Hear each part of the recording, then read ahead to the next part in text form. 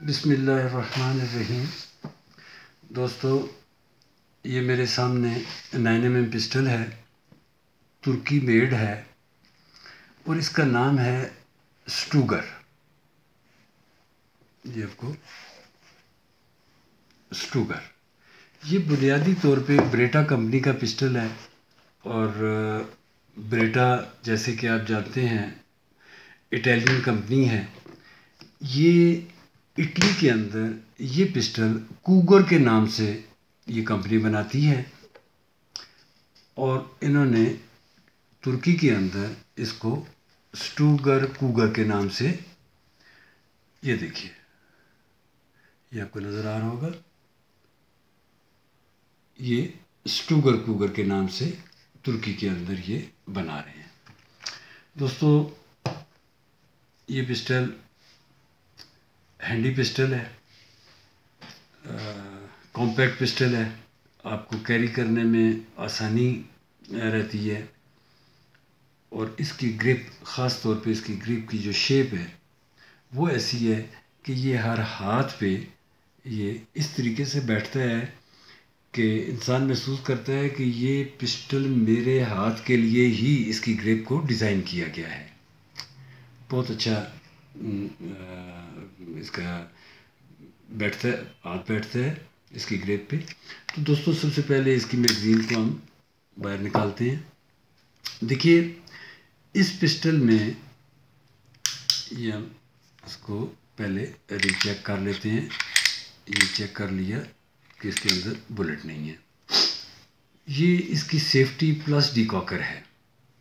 جس طرح کے بریٹا پسٹل میں ہے سیم وہی فنکشن ہے اس کا بھی لیکن بریٹا ذرا بڑا پسٹل ہے یہ ان کا کوگر کے نام سے اسٹوگر کوگر کے نام سے تھوڑا کمپیکٹ بنایا ہے یہ دیکھیے یہ سیفٹی پلس ڈی کاکر دیکھو یہ ڈی کاک ہو گیا اور اس کے ساتھ سیف بھی ہو گیا اس کا ٹریگر بھی فری ہو گیا اب ہم اس کو اس کی کھولنے کی کوشش کرتے ہیں دیکھیے اس میں یہ ایک بٹن ہے جو کہ بریٹا کے اندر بھی ہے اور اس کے اندر بھی ہے۔ سیم فنکشن ہے، سوائے ایک فنکشن کے کہ اس کے اندر جو بیرل ہے، یہ دیکھیے، یہ بیرل اس کی یہ ریوالو کر رہی ہے۔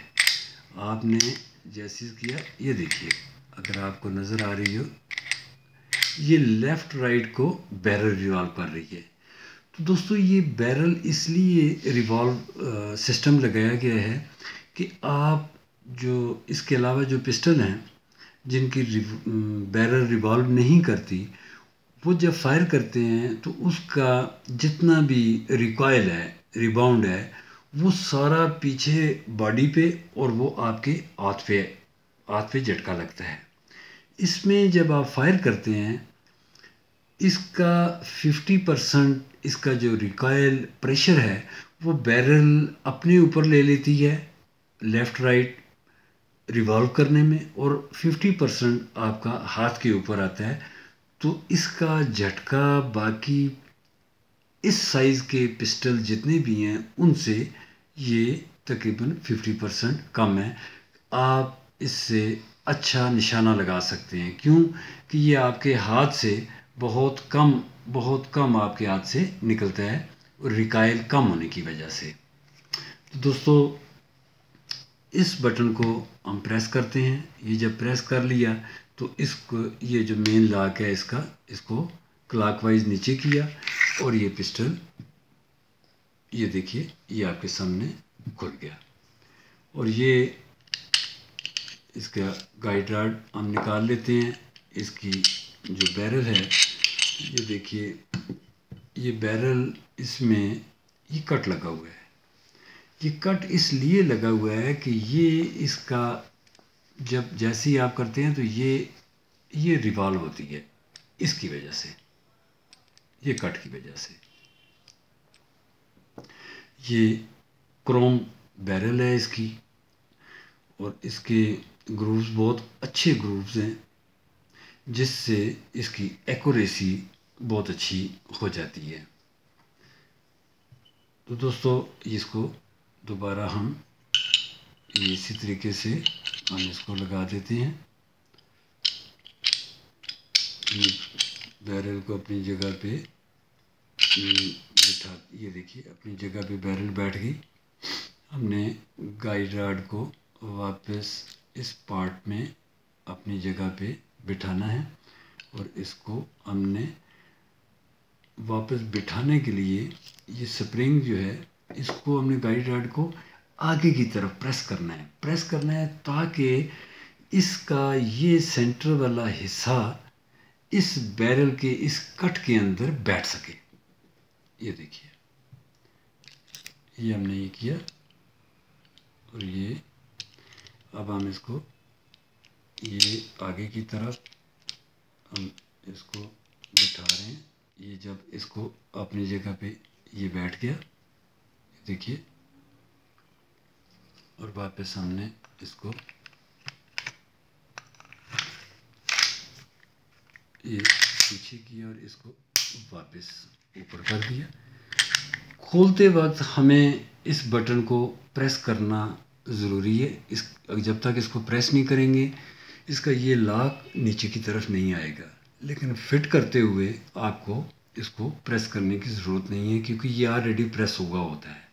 آپ نے صرف اوپر کی طرف کرنا ہے۔ سوری دیکھیے، اس کے اندر، ہر پسٹل کے اندر یہ ایک پارٹ جو آپ کو نظر آ رہا ہے، یہ ضرور ہوتا ہے۔ یہ بہت اہم پارٹ ہے، اس کا ڈبل کام ہے۔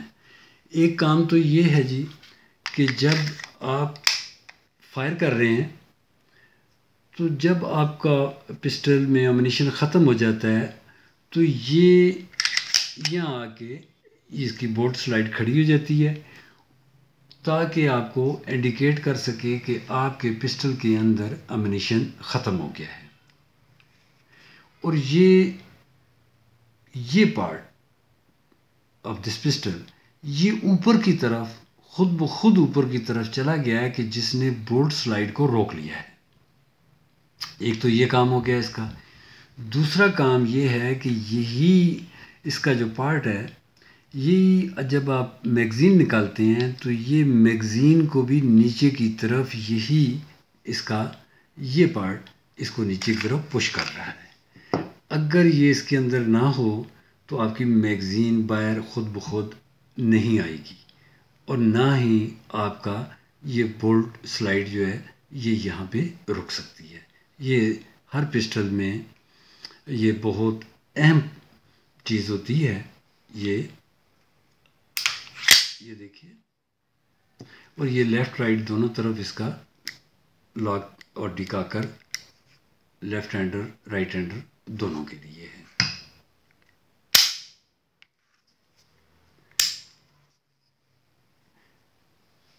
یہ بہت دیکھنے میں بھی بہت خوبصورت پسٹل ہے اور کوالٹی میں بھی نو ڈاؤٹ کوالٹی میں بھی بہت اچھا پسٹل ہے۔ دوستو، اگر میری یہ ویڈیو آپ کو پسند آئی ہو، تو مجھے لائک ضرور کیجیے اور اپنی دعاؤں میں یاد رکھیے گا۔ خدا حافظ۔